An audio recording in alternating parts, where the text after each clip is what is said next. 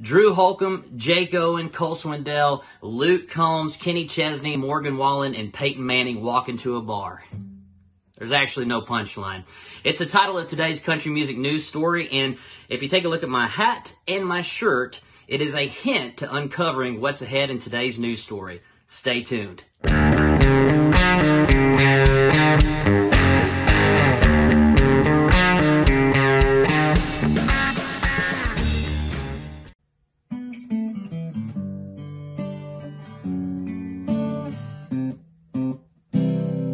And if you know the introduction to that Kenny Chesney song, be sure to comment in the comments below. It kind of goes along with the story that we're talking about today.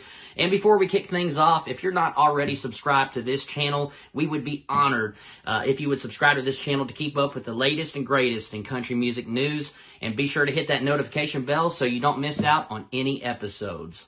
So as I mentioned earlier, we have Drew Holcomb, Jake Owen, uh, Cole Swindell, Luke Combs, uh, Kenny Chesney, Morgan Wallen, and Peyton Manning all walking into a bar. Uh, more specifically, the Cross-Eyed Critters Watering Hole and Karaoke Bar right here in Nashville. Now, the Cross-Eyed Critters Watering Hole has actually been closed due to very stringent and strict guidelines and regulations that have been implemented here in Nashville, Tennessee. However, most recently, they have reopened the karaoke bar on Fridays and Saturday night.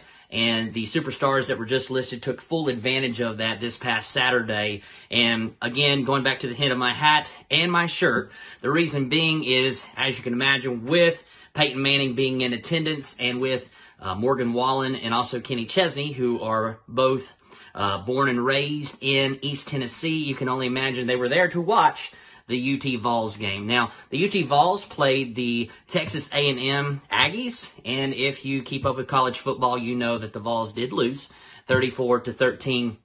But the gang sure did seem to enjoy a guy's night out with Cole Swindell posting on Instagram Christmas card, referring to the photo of all the superstars hanging out.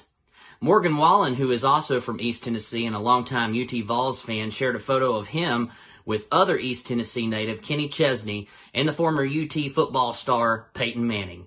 Wallen commented on his social media post, just a few of them East Tennessee boys.